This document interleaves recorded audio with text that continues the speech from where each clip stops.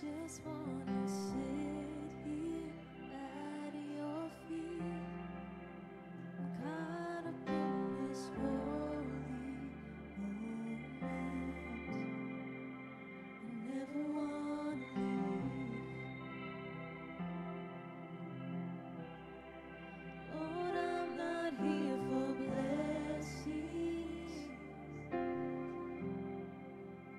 Jesus, you don't owe me anything more than anything that you can do. I just want you.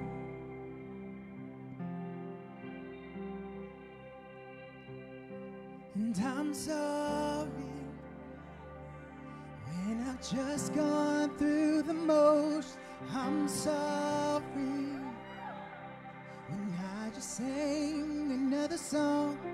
So take me back to where we started. I opened up my heart to you. Come on, lift your voice. And I'm sorry when I've come with my attempts.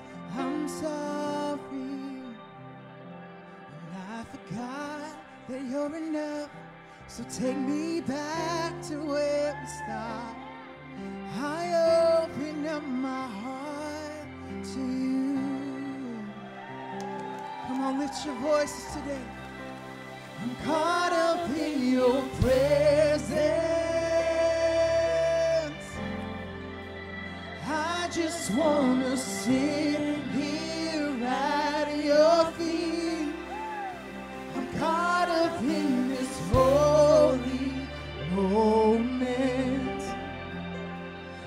Never wanna leave. Come on, C3, lift your worship. Oh, I'm not here for blessing. Jesus, you don't know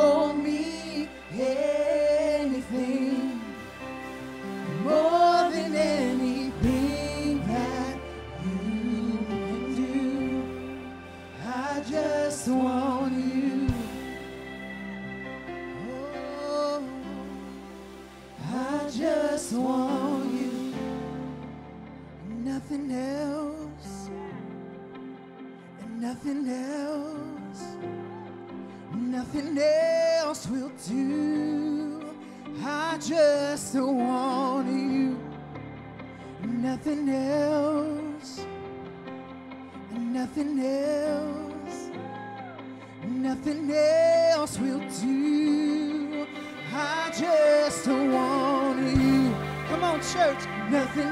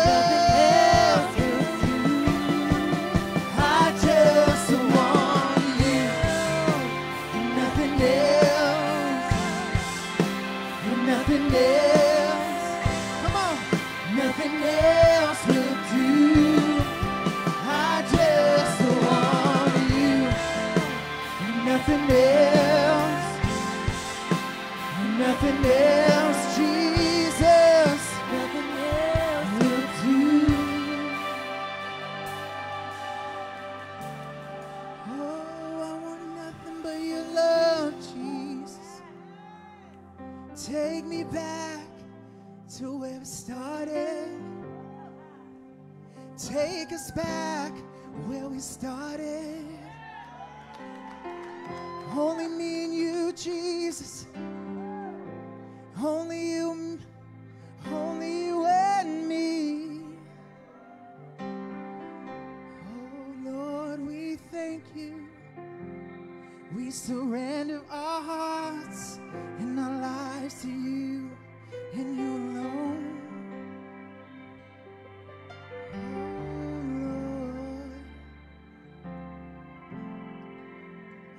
just want you. I just want you. Nothing else. Lift your worship. Nothing else. Come on. Nothing else will do.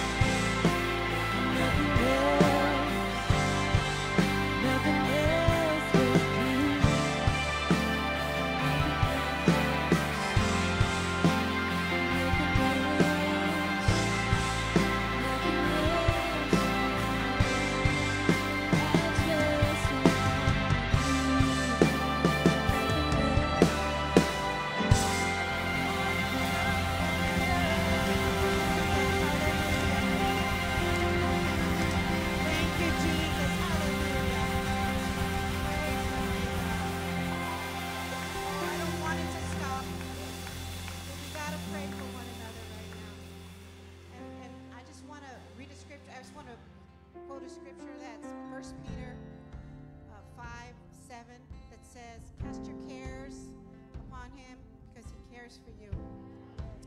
So your prayers are important to God. Your needs are important to God.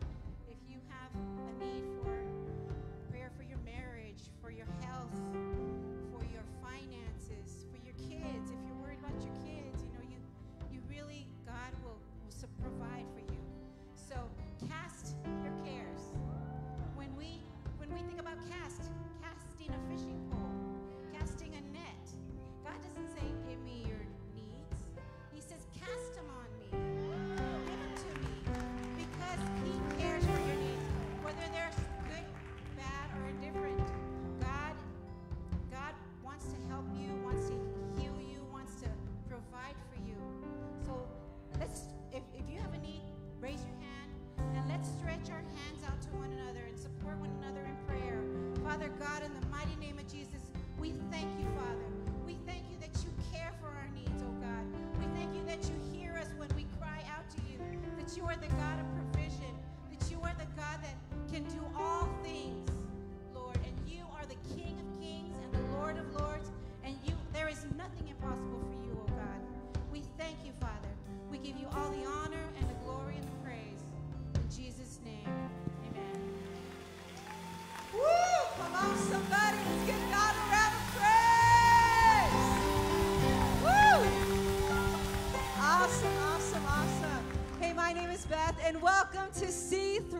tonight. Man, God is already moving. Who is excited to be in church tonight? Awesome, awesome. So welcome everybody, but we want to give a special welcome. Is this if this is your first time, we just want to say we're so glad you're here. And could we just give them a round of applause real quick? Come on. Listen, if this is your first time, I know God is going to speak something so powerful into your life. I hope you came expectant for what God is going to do. Um, before we, we have something um, super special for you before we watch the video. Is there any C3 youth in the house tonight? Oh, no, no, no. That was, y'all are youth, okay? Let's hear it again. Come on, youth. Hey, you guys can go ahead and head back with Pastor Chris. He has something special for you. Everyone, you guys can go ahead and give some nucks to somebody. Take a seat. And if this is your first time, we got a special video just for you. So go ahead and watch the screens. Hello, my name is Bianca, and on behalf of C3 Palm Springs, we'd like to welcome all of our first time guests. And as a guest, we would love to mug you. Wait a minute, I know what you're probably thinking. It's not like that. We want to send you home with one of our C3 coffee mugs as a gift. Just raise your hand, and one of our ushers will give you a card to take to the Connect counter in the lobby, and we will do the rest.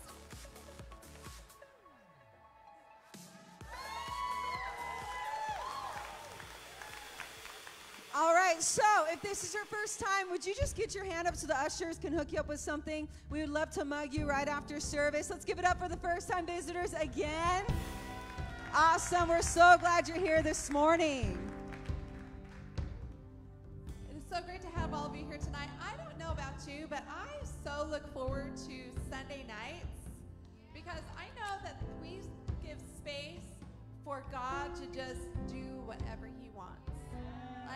Know we're not going to get out super late.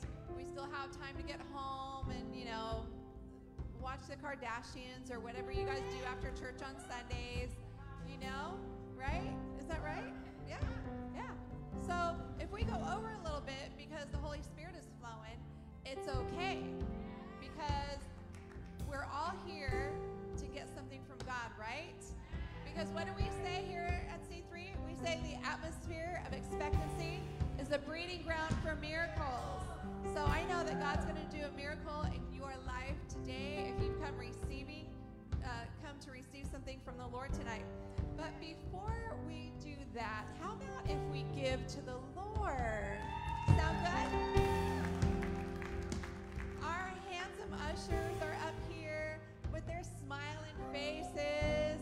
I'm sorry, ladies, but they're all taken. But that's okay. They still have off uh, tithe envelopes for you if you're giving today by cash or by credit card. You can lift your hand and they'll get an envelope to you. And they also have a C3 pen for you so you can write down what you need to write down. But if C3 is your home church, then I know you already have the church center app on your phone, right? That's why you guys aren't asking for envelopes because I know right now while I'm talking, you guys are on your phones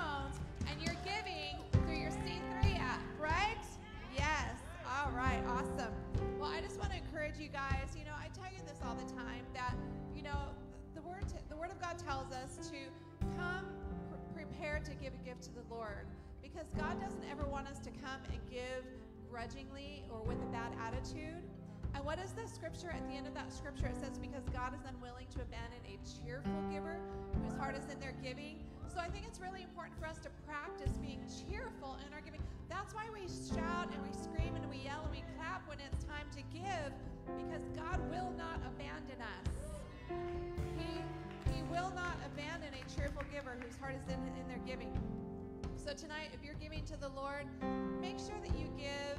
Come prepared to give to the Lord not just a tip, not just the crumbs, but give to God what He deserves. Give to God out of a grateful heart, out of a loving heart, out of a heart of just such gratitude for all that He has done for us. Amen? So let me pray for y'all real quick before the buckets go by. Father God, I thank you for each and every person that's here tonight. And I am so excited for you, what you are going to do tonight. But God, I also pray for everybody that is here, that has come prepared to give a gift to you, Father God. I pray that you bless them, Father God. Bless their finances, bless their health, bless their home. I pray you bless them on the job. I pray, just as your word says, Father God, that the steps of the righteous are ordered of the Lord, Father God, that you order their steps. And like your word says, that everything they put their hand to, they shall prosper. I thank you for prospering their hand, Father God. I thank you for increase in their lives in the name of Jesus. And we all give you praise and glory and honor in the name of Jesus. Amen. Amen. Well, as the buckets go by, just a couple of announcements really quick. You know, Easter's coming up, and Easter is one of my favorite times of year because that's when the whole world celebrates Jesus with us, even though they don't realize that, that that's what they're doing. I think that's pretty cool. So, Easter, we have a lot of guests that come on Easter. And we also have a lot of people that are on our membership attendance that only come on Easter, Christmas, and Mother's Day. So, I think it's awesome if all of us would kind of take that extra step out of our comfort zone and maybe serve in an area for Easter that maybe you don't serve in. So I encourage you guys, let's get on board. Let's set the atmosphere God to do something incredible in the hearts and the lives of everybody that steps through our doors during the Easter season. Does that sound good? So I encourage you guys to go onto your church center apps under groups, and in there you'll see teams. Under teams, there's a whole list of different teams that you can volunteer for, get uh, become a part of. I know we're going to need a lot of a lot of people loving the kids and teaching them about Jesus during Easter. We're going to need more ushers helping to seat people. We're going to need more greeters with shining happy faces at the doors. And so sign up and let's serve God big this Easter. Amen. Also, we had such a great time on Wednesday night at Sisterhood. Where are my Sisterhood ladies at tonight? Woo! We had an amazing sisterhood, but guys, we have not left you out. This Wednesday night is Men of Integrity. Will you, come on, where are the men at? All right. So, men, you need to be here. 7 o'clock Wednesday night. You're going to have an incredible time of getting together as men of God, as men of integrity, praying for each other, hearing a wonderful word, supporting one another, and just getting together and doing what I don't I don't know what guys do because I don't go to your guys' things, but um, whatever you guys do, I know you're going to do a lot of it when you're there, hanging out. So have fun. But then also, we have a video that I'd like to show you in just a second about our our um, our Palm Sunday production that we're going to be doing. It's called The Last Supper, and it's a theatrical experience. So it's not just what you see on stage, but it goes from the lobby in all the way in through the stage, and just you get immersed in what's happening. So I want you to see a little video of what I'm talking about, and then I'll come back and talk to you a little bit more about it.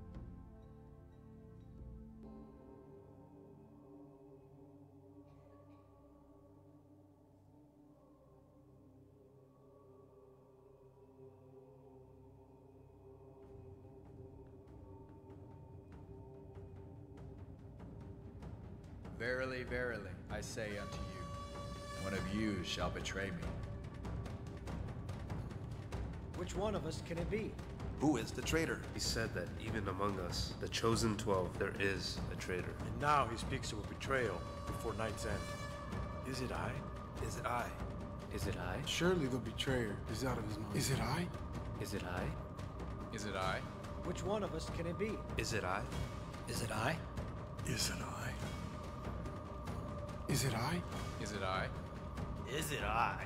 I find it so hard to believe that one of us will betray the anointed one of God. Surely the betrayer is out of his mind. He refuses to make a move. Well, I've made one.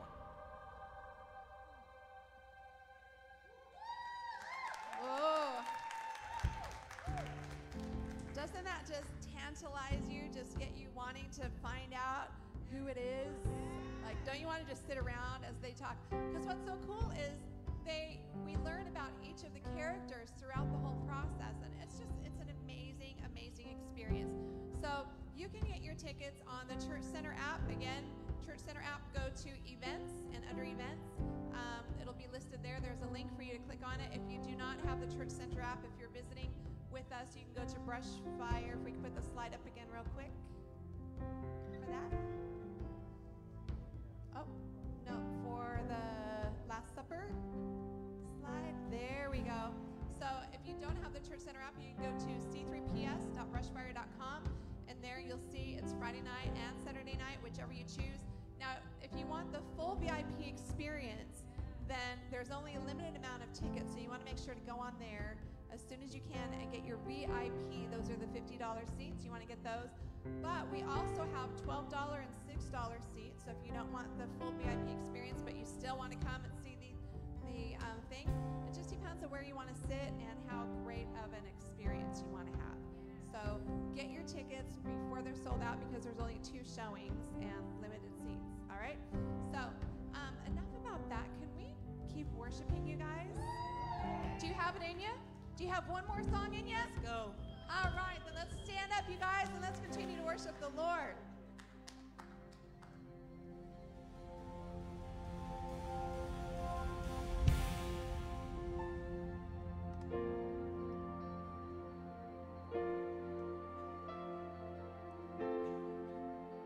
Let's sing this out together. Sing, hear the word. Hear the word roaring as thunder with a new future to tell. For the dry season is over, there is a cloud beginning to swell. Yes, come on, we can feel it swelling. Look to the skies, heavy with blessing. Lift your eyes, offer your heart.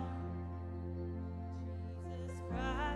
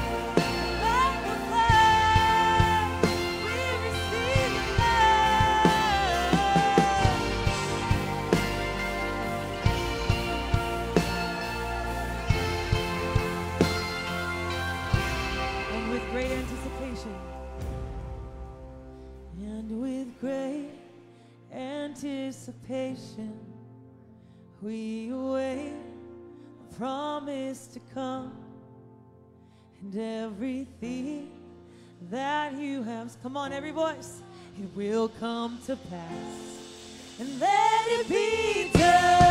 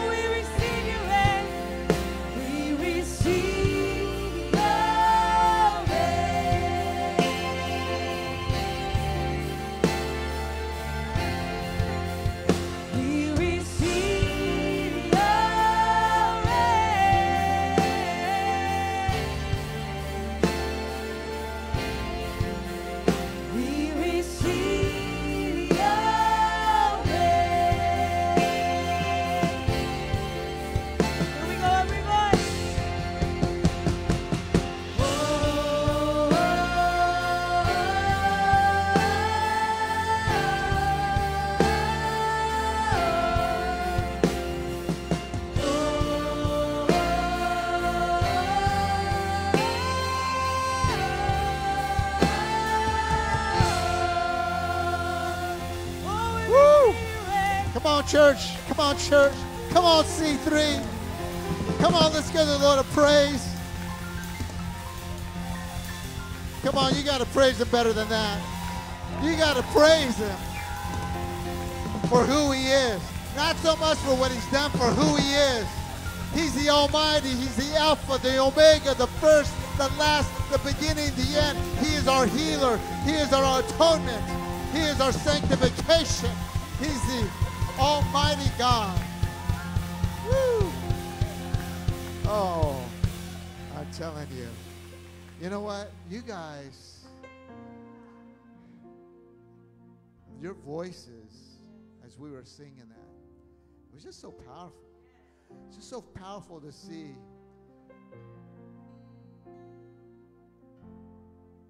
The praise just God just looking down, looking at all the angels and the saints that got to check those people out. Oh man, look at they are passionate. They are on fire. And it's just there's nothing better than being together with believers. Nothing better than just being together.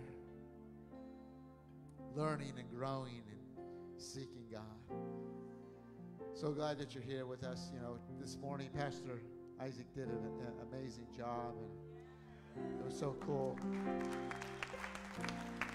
That's what I love about about the church is not just about me or Pastor Dawna, but just as people are being developed and raised up, they can preach the gospel, and that's what we need to do. We need to raise up more preachers and more children's directors, and more pastors and leaders, and because the, the kingdom of God needs to advance, and we can't just gather together and just like let me feel good, but really each and every one of you has a part to play to see this valley saved. You know, I love what the Bible says. It's that that pastors and evangelists, prophets, apostles, teachers, they're all they're they're called to do a job. And that job is to equip the saints.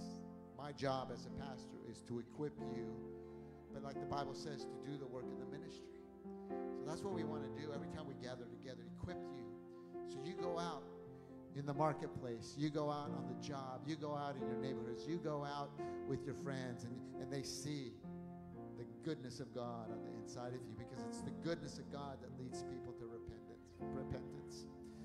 Um, I'm just going to pray, and then we're going to get into the, the Word and see what God has for us tonight. Tonight's, a, like I said, it's, I have a just a simple message, but I think it's so powerful. I think a lot of times the simple, just the basics is like, man, I, I know that, but maybe you're not putting it into application. I, I've heard that, but maybe I just like, it's a good refreshing for me. So let's pray. Father, I thank you. Ah, you're so good. You're so good. Ah, Thank Thank you, Holy Spirit. Thank you, Holy Spirit. You're welcome in this place. Come, be the teacher of the church. Teach us. Jesus, as you said, that it's to advantage that you leave, that you send the Holy Spirit to us. We receive the Holy Spirit in this place. We just thank you. I just pray, use me tonight. Speak through me. And whatever I say, I pray it would glorify and lift up Jesus. Thank you, Lord. Bless everyone that is here. Bless those that are watching online. Bless them right now. I pray the anointing of God would just fill up their cars or their rooms, wherever they're at, whether it's in a coffee shop, whatever it may be, Lord, that they feel the presence of God through the airways. We thank you, Lord, in Jesus' name. Amen. Amen. You guys can have a seat. You guys can have a seat. Thank you, team. Woo! Wow. Well, I just wanted to come down. You know what? I just wanted to come down because uh, I just wanted to see if God has anything in store, if has anything. God bless you. How are you doing? What's your name? Veronica. Do you drink coffee? Okay. But you know what? You could get something else. I'm going to give you something from Venue. Right there. Just go over there. Just, I just felt I had a couple of these in my pocket. Don't be pickpocketing me. Don't be pickpocketing. Pickpocketing. You like coffee? But there's other things. Come on, guys. You're going to put us out of business. Buy a coffee for someone else here. There's other things there. There's chai latte, or there's tea, water, tea. What's that? Come on, Laura, help me out over here. The what? The hot chocolate. Hot chocolate. Let me just go through here because I want to get on this side. Hello, lady. Good to see you, beautiful. How are you doing? Good, good, good. Well, I'm going to give you one too. All right, there you go. Because you're so beautiful. That's why. I want you to open your Bible, Psalm 119, 11. Psalm 119, 11. Bible says, Your word have I hid in my heart that I might not sin against you. And over the years, I used to think about that. As, as long as I had the word in, God, in, in my heart, that, that I should not sin against God. And I think I love, because obviously the, the Bible was written for us and today, and I know what the, what the psalmist was saying. But I begin to think about it, and I begin to think about your word have I hidden in my heart that I should not sin against you. But I like to say it this way Your word have I hid in my heart that I might be able to make the right decisions. Your word have I hid in my heart that I might live the life that you call me to live. Your word have I hid in my heart that I walk, walk by faith, not by sight. Your word, I, because in, in all reality, when we have the word of God hidden in our hearts, all those things take place. And I'd rather take a look at it as like, not that I would not sin against you, because I want to hide your word in my heart that I might do the right thing. Not that I might not sin against you, but that I might do the right thing. And so, as we look at the, the Bible, and tonight, what I want to do is I want to look at the importance of hiding the Word of God in, in our hearts. The importance of hiding the Word of God in our hearts.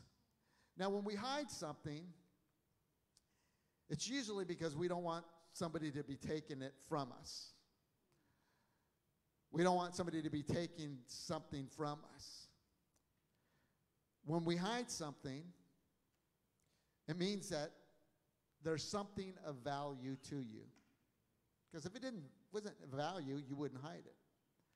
When you were a kid, you hide you hid your toys because you didn't want the other kids or maybe your brothers or you, you valued those those toys so you hid them so they wouldn't get them.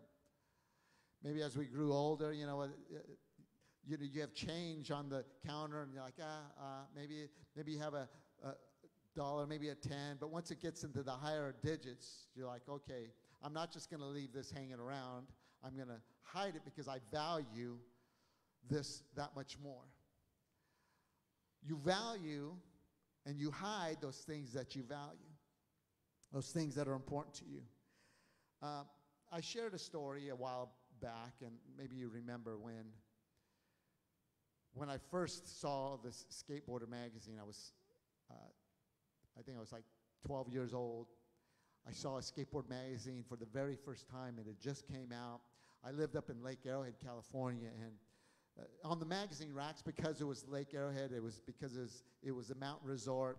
It wasn't the beach. They only had like one or two at the most of these magazines because it's like it's not you know I'm not it's not like the surfer magazines at the beach that are all over the place. But this was like okay. So when I used to go and get the magazines every month, I would go in and see. It's like oh, okay. And I didn't, I didn't have the money to just go out and buy the magazine. So what I would do is I would get the magazine, put it in another section, and hide it until I was able to go and get more money. Because I think, you know what, if somebody else is going to come and get this magazine, I won't be able to get the magazine because. Like I said, I, as a little kid, we lived in Lake Arrowhead. You had to drive an hour just to get to San Bernardino. Even in San Bernardino, they didn't. You'd have to find and search out these places. But I valued the, the skateboarder magazine. I, I, I put them as important, so I, I hid them around. When I go around in, in my car, in, in our car, you know, I just don't leave things out. Things of value, I either take them with me uh, with my backpack, I carry my backpack, or I make sure I hide them because I don't want them visible for somebody to come and take those things that are valuable to me. And I think sometimes if we don't hide the Word of God, if we don't value the Word of God, it's out there so the enemy could come and just say, oh, look at that. They, they're not valuing it that much. And it's just kind of on the outskirts of their, their hearts. And I might be able to come in and snatch that Word of God. I might be able to snatch that thing that they received. So it's so important for us to hide the Word of God on the inside of us. The Bible tells us in Matthew in the 13th chapter, verse 44, it talks about a man found a treasure. And I didn't give you guys a scripture, but a, a, man found a treasure. A treasure is valuable, a treasure is important. And it was on somebody else's property, somebody else's land. So the Bible says that he found this treasure and he hid it. It was a hidden treasure. He found it, but he hid it because he had to go and sell all of his possessions that he might be able to go and buy the land and then get that treasure back up.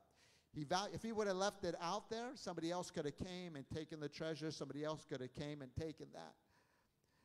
It's important for us to value and hide the Word of God in our hearts. Not only that we should not sin against God, but also that we would live the life that God has called us to live, that we would not make the wrong decisions, but we would make the right decisions. For the Bible says, where your treasure is, where your treasure is, uh, the things that you value in life, where your treasure, that's where your heart is as well. So the things that we value, the treasures, that's where our heart is. Many people treasure so many other things besides the Word of God. You could show me your bank book, and I could tell you what you treasure the most.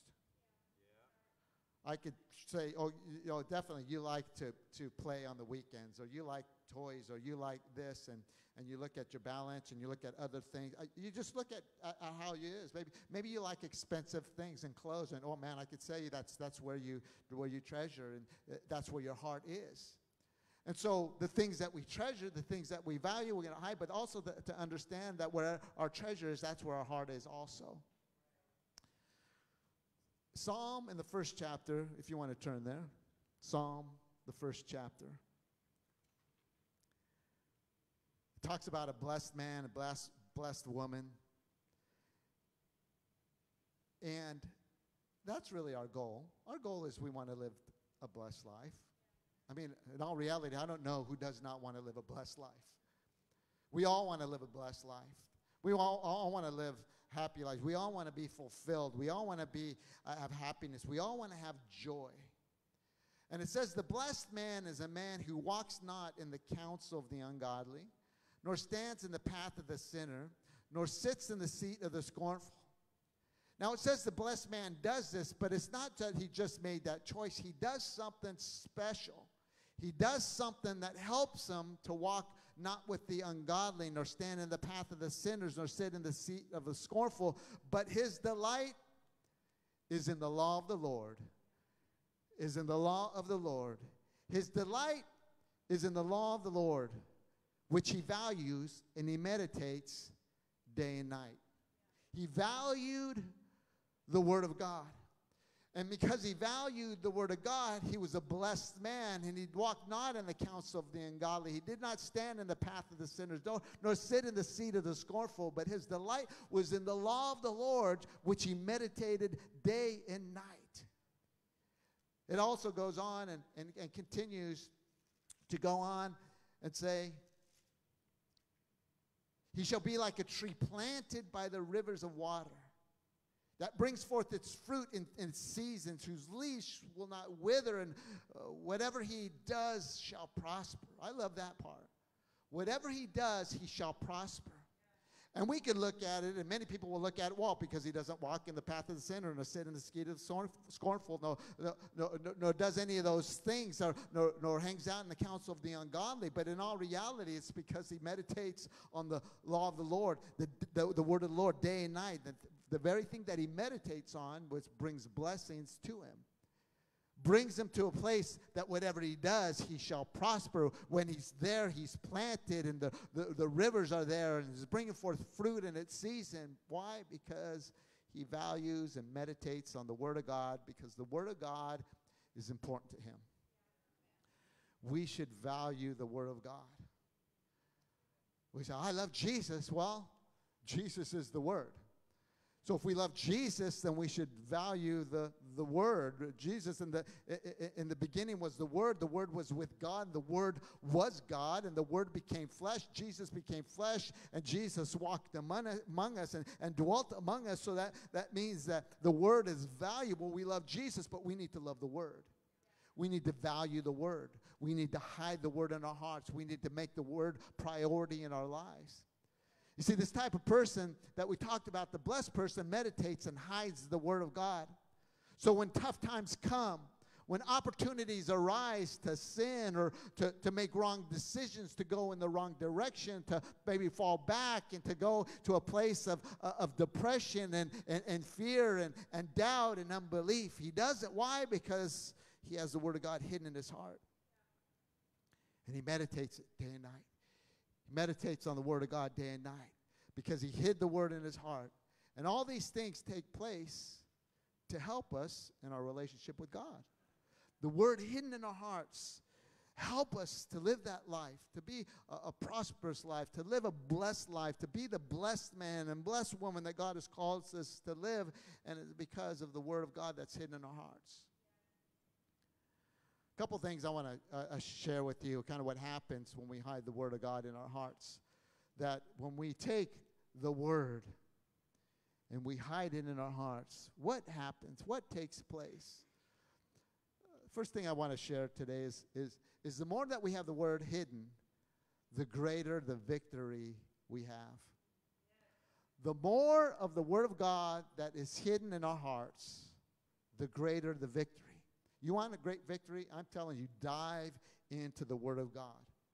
You want to have great victory over some of the, your addictions? Find out how to, to, to, to overcome those addictions. Find out how God could set you free. Find out how God wants you to be delivered, how God came for the oppressed, how God came for the sick.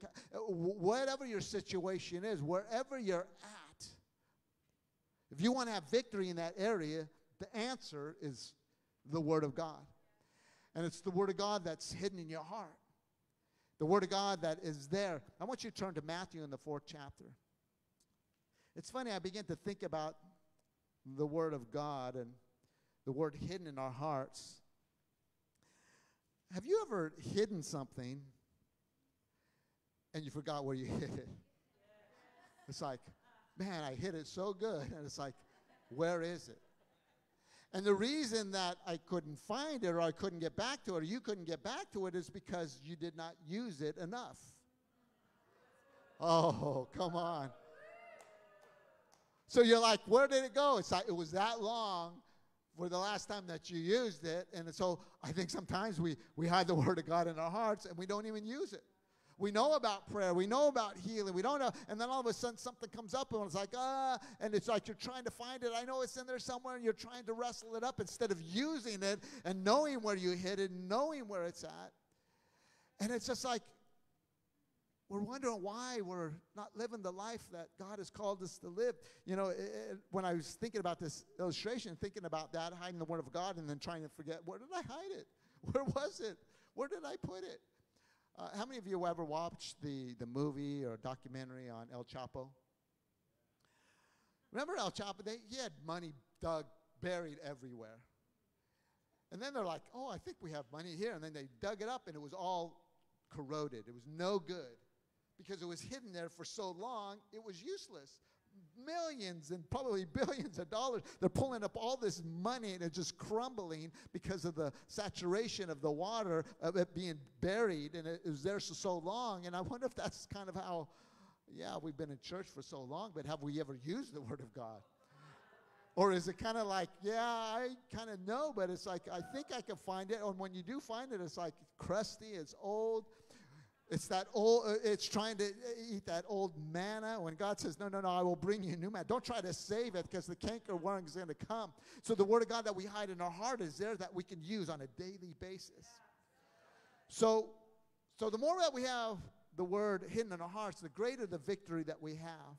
And Jesus is the greatest example for that because in, in Matthew, the fourth chapter, verse number one, right after Jesus was baptized, the Bible says then Jesus, led by the Holy Spirit into the wilderness to be tempted by the devil.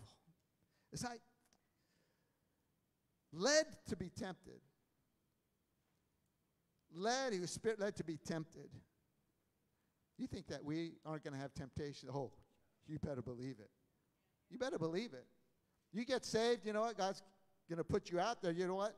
Temptation is going to You know, temptation doesn't come until you get saved because you're just doing life.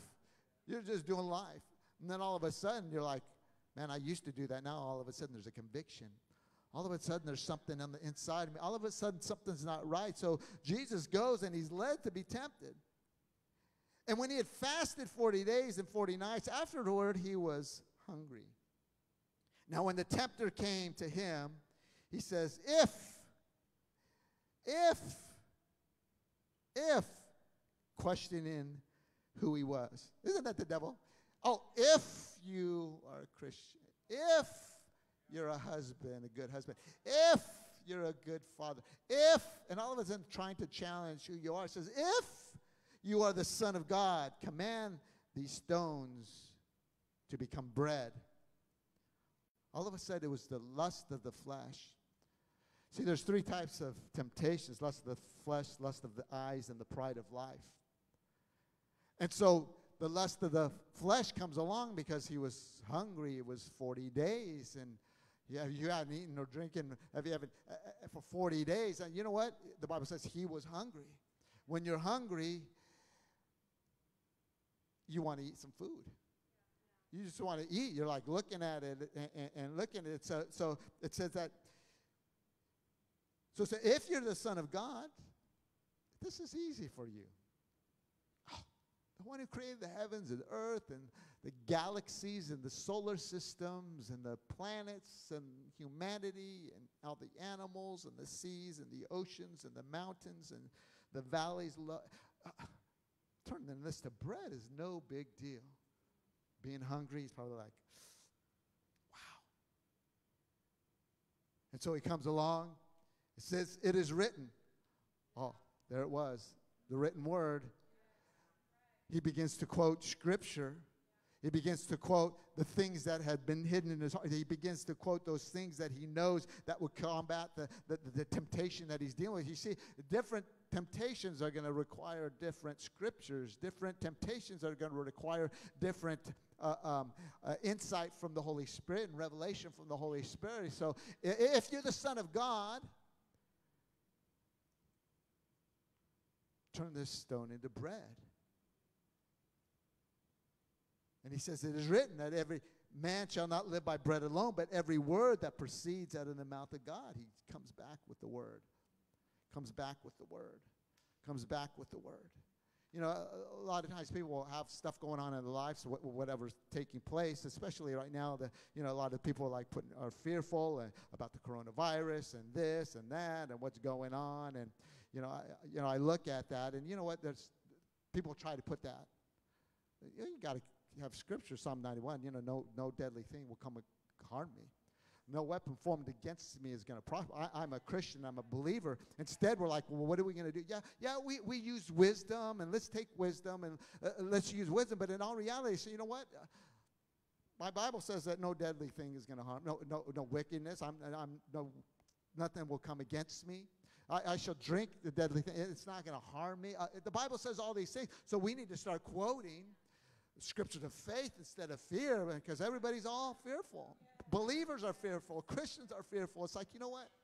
And I look at it, and you know what? Like I said, I don't know. We'll, we'll, we do what we can. We'll take precautions, and we'll be use wisdom because we need to use wisdom. But in all reality, I don't know whether there was a hundred cases or whatever in the United States or however many.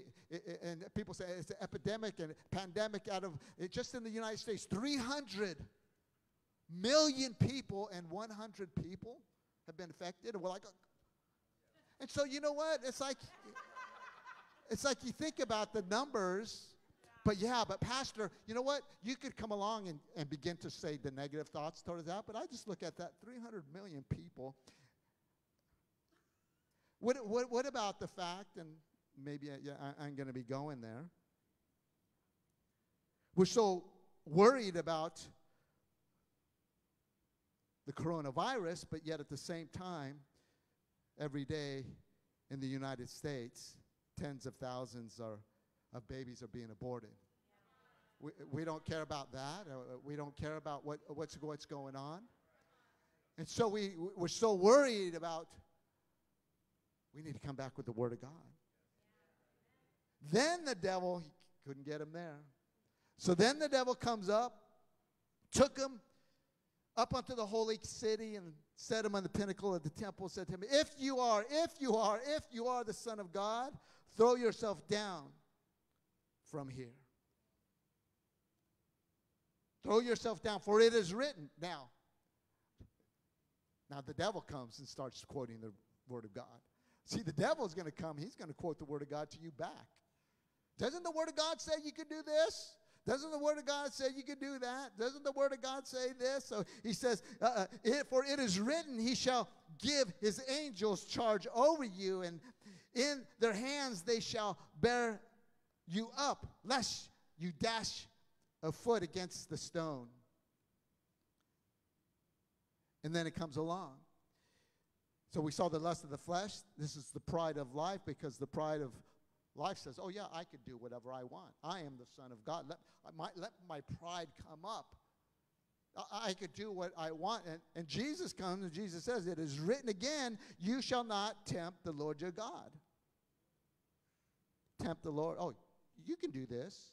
You can do that. You can live this way. You can live that way. You know what? God's, you know what? He says He forgives you. you why not just go along and do this? No, don't be tempted. Pride comes up. Yeah, I can do that. Yeah, yeah. You know what? I can jump. Just because he could have doesn't mean that he needed to. The devil was trying to get him to jump. No, no, no, no. It is written. And so he has victory after victory after victory. Then it comes along again and says this again, the devil took him up on an exceedingly high mountain and showed him all the kingdoms of the world and their glory. And he said to him, All these things I will give you. It's like it was his already. All these things I will give you because now the devil has the dominion. And for if you will fall down and worship me, I'll give you all these things. If you worship me, if you live for me, if you do what I call you to do, if you do what I tell you to do, don't, don't, don't worry about that stuff. But Jesus says, hey, it is written, away with you, Satan. I love that. Get out of here. Away with you. Get out of here, Satan. For it is written, You shall worship the Lord your God, and him only shall you serve. Then the devil left him, and behold, the angels came and ministered to him. It was the lust of the eye. See this? I could give that to you. See, give, if you just do this, if you compromise in this dealing, in this deal that you have, you know, you don't have to put full disclosures. If they don't ask you certain questions, you don't have to give that full disclosure because, you know, see this, I could give you this. And you're like, oh, maybe I should instead of saying, no, no, no, no, I'm going to be upright. I'm going to be a, a, man of integrity. I'm going to walk right. I'm going to tell the truth. I'm going to, I'm going to be the, the, the ambassador, the light that God has called me to live as a Christian, as a believer. I'm going to do what God says. So when we hide the Word of God, that's when greater victory. Jesus is the perfect example of having the Word of God. Bam, bam, bam.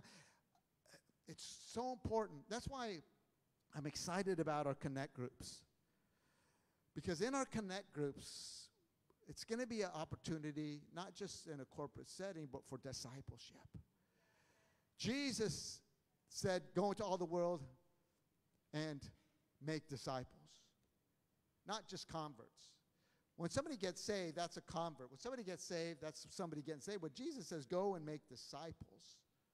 See, it's in that discipleship time. I, I love what Pastor Drew said last week.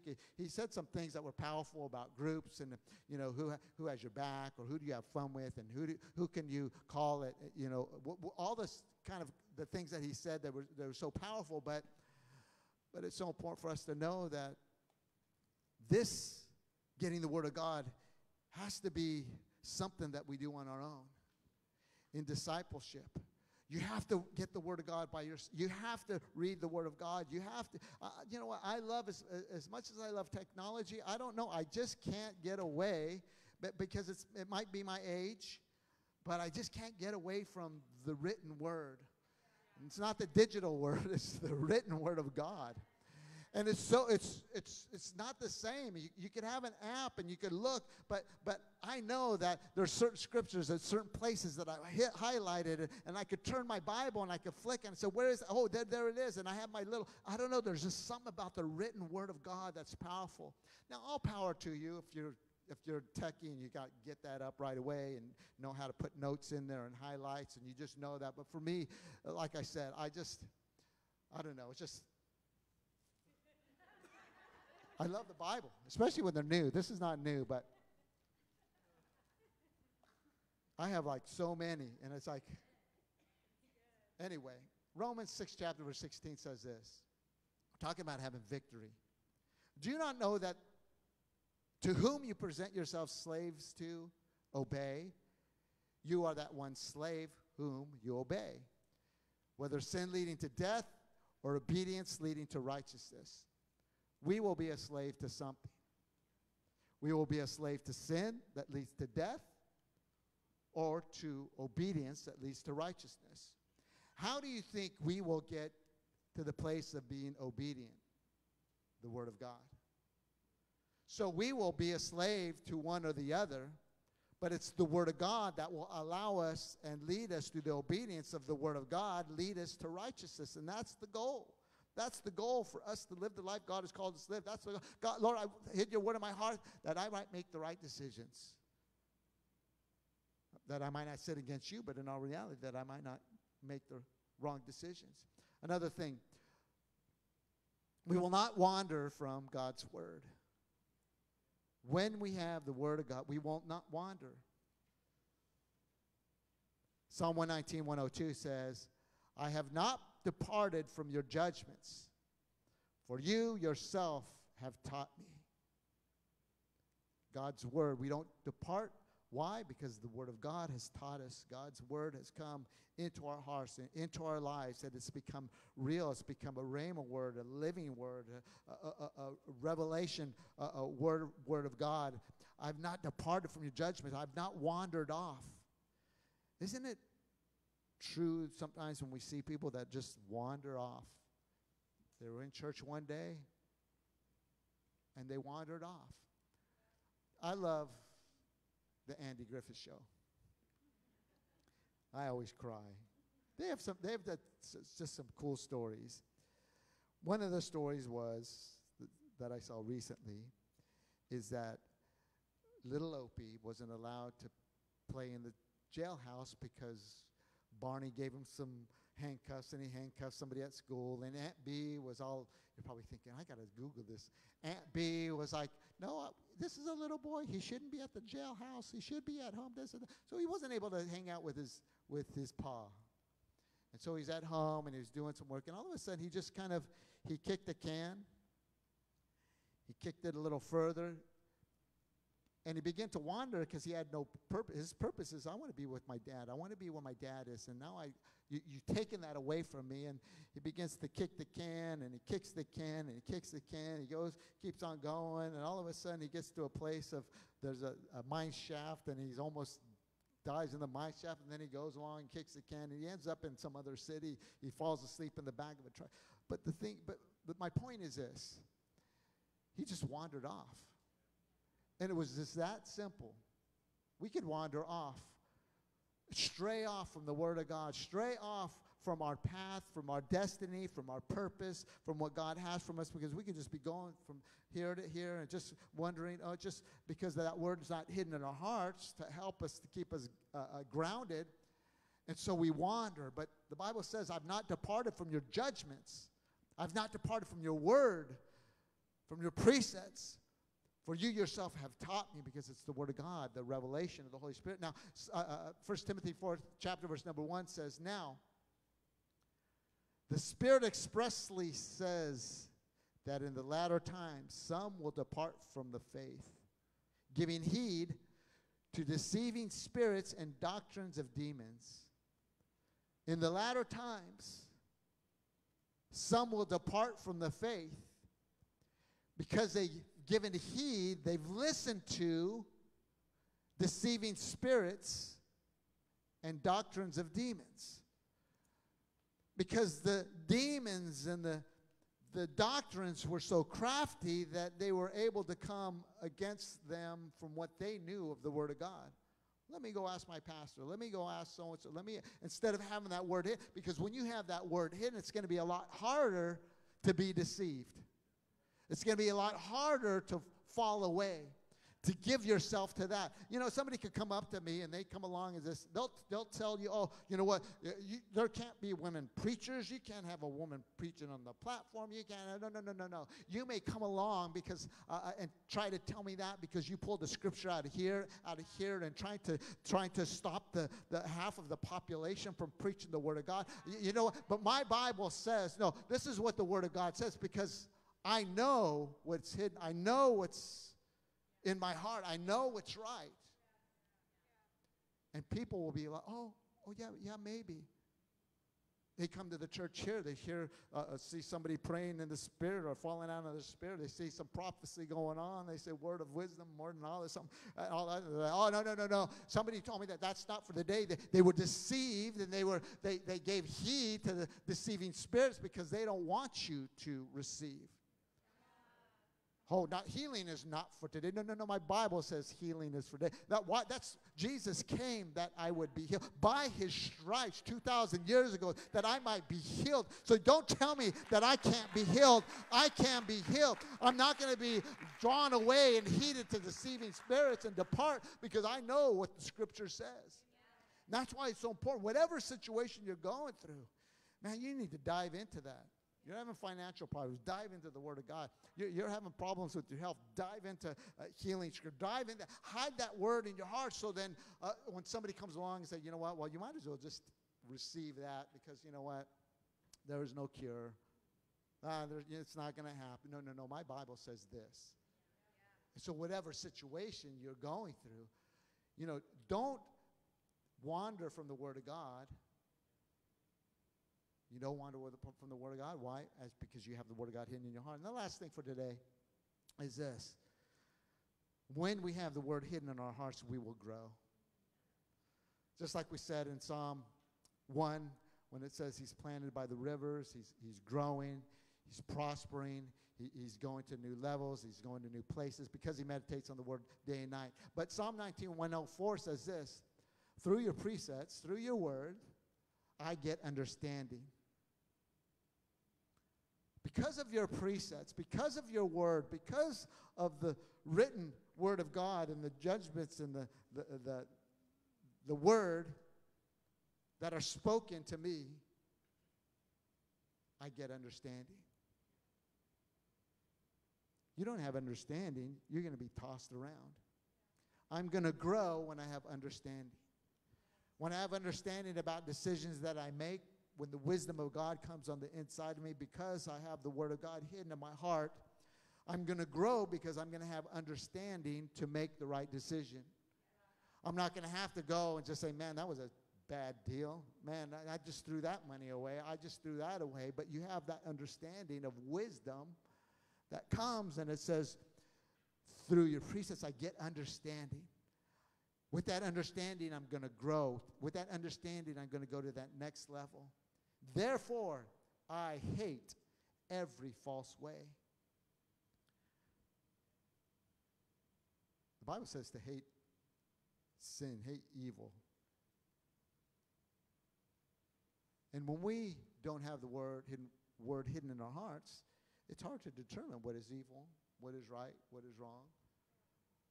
Like I said, I went there about the abortion, but there's so many other things that people say, "Oh, I'm a Christian," but you do that? Do you really? I mean, is that really is that what a believer does? Because the word of God is to their preference.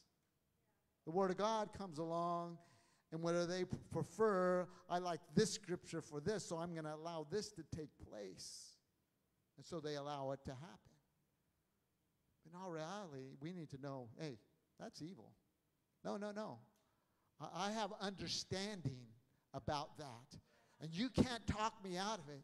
You can't talk me out that it is okay, that it's better for the, uh, for the world and it's better for, for, for the, uh, the, the, the earth that we live in. And we're, we're trying to, to save the whales, but we're killing people. We're trying to save the earth uh, because of global climate. But my Bible tells me the earth is going to burn up anyway earth is going to burn up anyway. So we're trying to say, no, let's do this, let's support this. Well, what about supporting the people that, that need to hear the word of God? How about getting the word of God out? How about rising up and doing what God has called us to do as believers?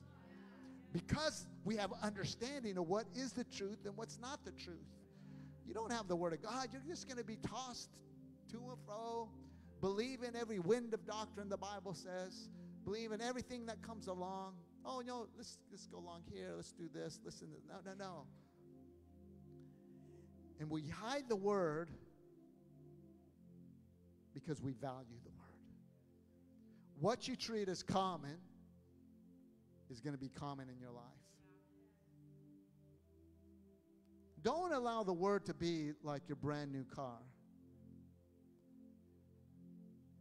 You value your brand new car. You hide it away because you don't want to get any dicks and nicks and bangs.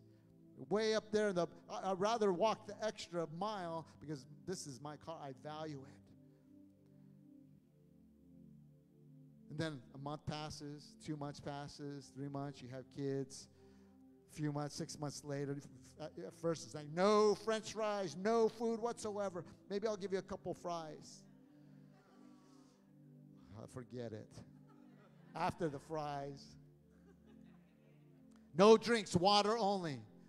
But I want a milkshake. Oh. And so all of a sudden, you just gradually, you value, but you're kind of like, okay, it's not that important anymore. I think that's the way it is with some people with the Word of God. They're at first, they're on fire. They're so excited that, you know what, man, I'm going to do this. I'm going to come to Men of Integrity. I'm going to be at Sisterhood. I'm going to come the morning. I'm going to come. I'm going to do what I can. I'm going to get involved. I'm going to serve. And you valued it at first, but you know what? You guys are here that Sunday night. You guys are, man, you guys are amazing. I'm telling, like I said, that worship, that that that song roared. It, it blew off the roof just with the voices that were in, I'm thinking, wow, that is so powerful. So we value the word But then, if we're not careful, we could treat it as common.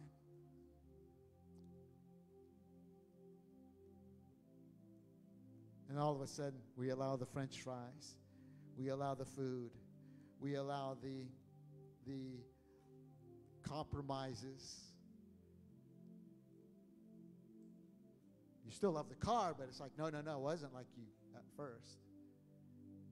And then you go back a year later and you look down and there's crusty fries all over the place. It became common. Ah, it's just common.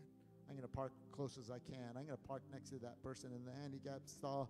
That's that. I'm going to park close to them, and they're going to probably bang my car. But you know what? I need to get in the store. I need to get out, and I'm going to go. And all of a sudden, it becomes common. What you treat as common is will be common. So let's value the importance of the Word of God. Let's value getting the Word of God into our hearts. You know, I'm doing the the, the one year Bible, and and it's cool because you know it goes through the different the different. It starts in the New Testament, and then it goes into a Psalm, and then it goes to Proverbs, and then in the New Testament, you just every day. And uh, you know, getting through Leviticus is like, oh God, dude, this is so. I had to push through. I had to push through. I'm in Numbers now, talking about when they spied out the land. You know, some of the things. Like, okay, good, good, good. But there's things, but it's like we could just like, okay, maybe I don't have to do that. Even as Pastor Dawna, because it came like five days late or four days late, so I had to catch up. I kept on trying to catch up and kept on trying to catch up. But now I'm caught up. But it's because I value. I value, and I'm just reading the Word, and I'm getting into the Word, and I'm underlining and highlighting and just circling and just getting revelation from the Word of God because I want to I want to grow myself. I want to be better. I be a better pastor. I want to be a better husband. I want to be a better father, a better friend. That's why it's so important to value the Word of God. Like I said tonight, just a simple message. Let's just hide the Word. It's hidden and valued. Let's value the Word of God. Let's hide it because we value it. Let's not hide it and forget about it, but let's hide it and use it on a daily basis. Let's use it to encourage people. Like Taylor. Ooh, I love Taylor. Taylor's here visiting with us. But I'm telling you, I love I love your spark and your fire. It's infectious. So I look and I say, man, it's so cool. You know what you remind me of? You're just so comfortable with yourself. And that's what's so amazing because you know who you are in Christ. And when David was bringing back the Ark of the Covenant, I mean, he was just so excited. And that's what you remind me. You remind me of David just being so excited during worship. And his wife says, What are you doing? You're making a spectacle of yourself. Come on. Come on, you're the king. Come on, you need to be more dignified than that. He says, You know what? I will be even more undignified. You tell me to dignify myself, I'm going to be more undignified because you know what? I'm not going to go there. I'm doing this not because of you, not because of them, not because of all the people. I'm doing this because of me. And that's what I love. I mean, I sometimes I watch myself on the cameras. I'm all, oh, guy. All like, mm.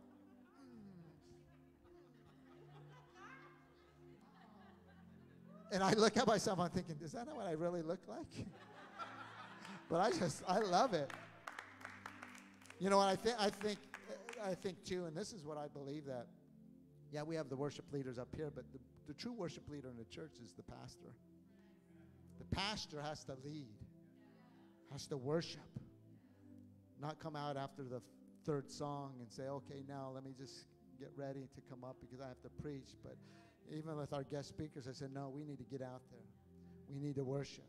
They need to see that you, they need to see you worship because if you're not worshiping, I'm not going to have you back. Because it's like get, they're going to be looking at you, and if you don't know how to worship, then they're going to be saying, "Why isn't he worshiping?" And pastor says we should worship. anyway, you know, I know most of you uh, that are here.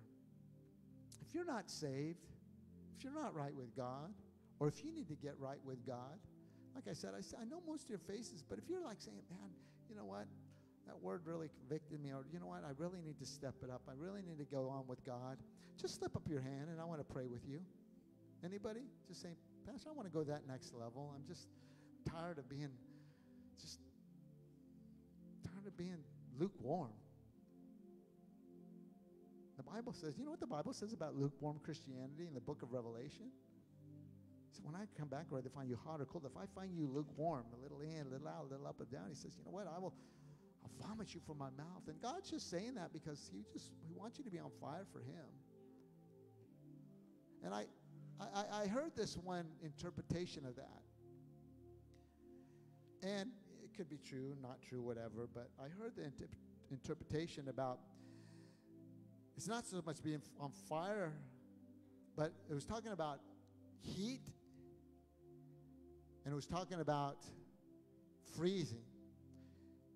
If you're on one end or the other, you know what? That's what God is basically saying. But if you're in the middle, that's where the danger is because when something is lukewarm, that's when bacteria comes in and sets in, and and it can kill you and hurt you and give you. You know, just bacteria in your food when it's lukewarm, it's it's not good.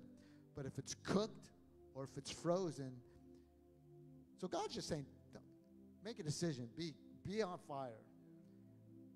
And so, if that's you, I, mean, I, I, don't know. I'm just rambling now. We're going to dismiss. We have a couple minutes, but I'm going to dismiss right now. Anybody say, Pastor, I want to get saved. I want to get right. I want to go on with God. And it's all good. It's all good. Anyway, well, stand up. Stand up to your feet. You guys have been amazing tonight. I'm going to pray a blessing over you.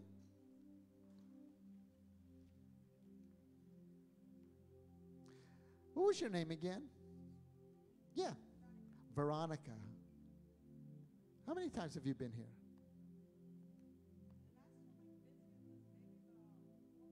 What? Four months ago. I'm so glad you're back today. I'm so glad that you came. Did you come this morning? Did- Amen. Did you come this morning? Yeah? And you came tonight? I'm so glad you came tonight when I was preaching.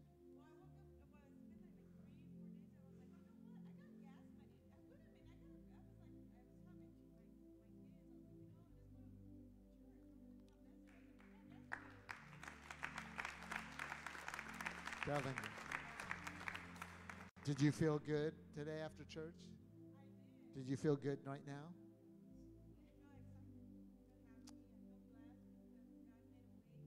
Amen. I'm going to pray for you. I'm going to pray for you, okay? Veronica, right? Veronica.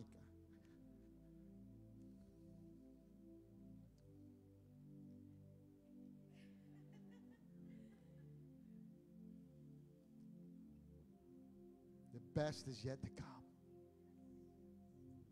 Best is yet to come. You know, just by you verbalizing, God made a way for me to get to church. I could see now, right now in your heart, that as you begin to speak forth those things and start thanking God, man, God made a way for us to go out to dinner tonight, to go get some fast food. God made a way to, for us to get gas so we could come to. ch- God made a God made a way just in just the little things. And as you honor God for the little things, God's you're going to begin to see God, and it's like God. Man, I can't believe that it's ever, man, this has been the best. God, God, you're so, because that's the way our God is. He wants you to know that you're the apple of his eye, that he loves you. When others around may have questioned you or things you've done in the past or what, no, no, no, no. God says, hey, stay away. This is my daughter, and I love her, and I'm going to bless her, and I'm going to continue to love her And one day, she's going to realize that I made a way for her. I opened a door for her. And God's going to continue to open doors for you. Father, I thank you for Veronica in Jesus' name. I thank you for the doors that you're going to continue to open for her. Father, I pray that you would bless her. I thank you for the job, for the car. I pray increase, Lord, more pay. Uh, Father, that the car is going to be a great car, Lord. Uh, Father, I thank you, Lord, Father, that she's going to begin to realize the many blessings that you've blessed her with in her life. We thank you for her, Lord. The best is yet to come for Veronica. We thank you, Lord, in Jesus' name. Amen. Father, I thank you for today. I pray for each and every one of us, Lord, that is here. Father God, we're going to value the Word of God. We're not going to make it common. We're going to hide it in our hearts. We're going to use it on a daily basis, Lord, because we have a job to do. We're going to go out and we're going to love people to life. God bless you guys.